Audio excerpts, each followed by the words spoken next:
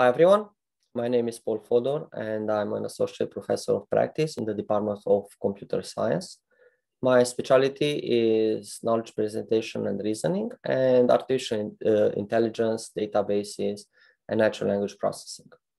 I participated in uh, large artificial intelligence projects like the IBM Watson project that won the Jeopardy game against the human champions. As an undergraduate, I majored in computer science and computer engineering. I worked at Daimler Chrysler in Berlin, Germany before, that, before I decided to continue my studies with a PhD in computer science.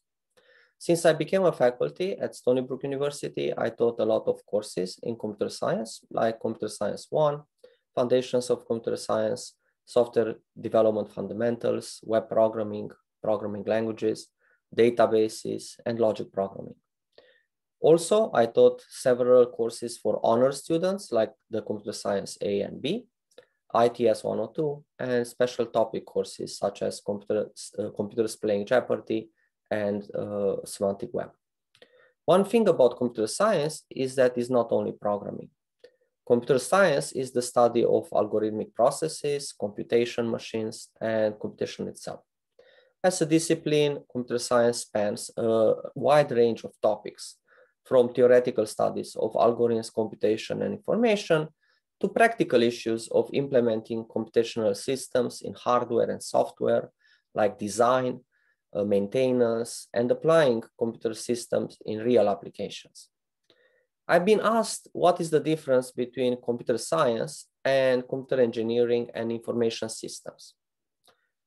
Computer engineering is a branch of engineering that integrates computer science and electronic engineering required to develop computer hardware. Information systems major prepares its graduates for many professions that use uh, computers. This includes managerial and organizational issues, delivery and maintenance of reliable systems on time and within budget, telecommunications, networks, and database management. A unique aspect of computer science undergraduate major is that it takes a lot of time to learn it. It is important that as a student, you practice programming as much as you can. Try to find problems in your everyday life. For every task you have, try to find how would you automate it, be it course scheduling, planning trips, planning dinners out, planning meeting with friends, everything. This way you will learn how to solve problems automatically. Learning programming is also like learning a foreign language. At the beginning, it will be difficult and time consuming.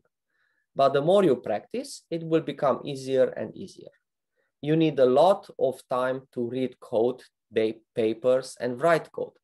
And in general, you basically have to find quiet time when you can work.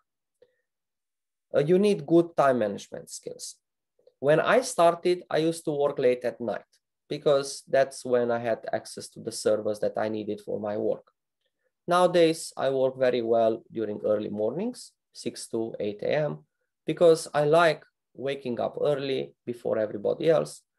Uh, see what works for you. Our field is evolving very fast. 30 years ago, there was no internet, while now it's in our all life. You should also have a strong self-discipline because you will need to learn new things all the time in this profession. You will need a high level of professional, personal, and educational motivation.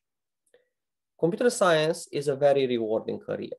You can become engineer in a financial company, in tech companies, in startups, in academia. Basically, hard work pays in the end. Thank you for watching my video and good luck in your major.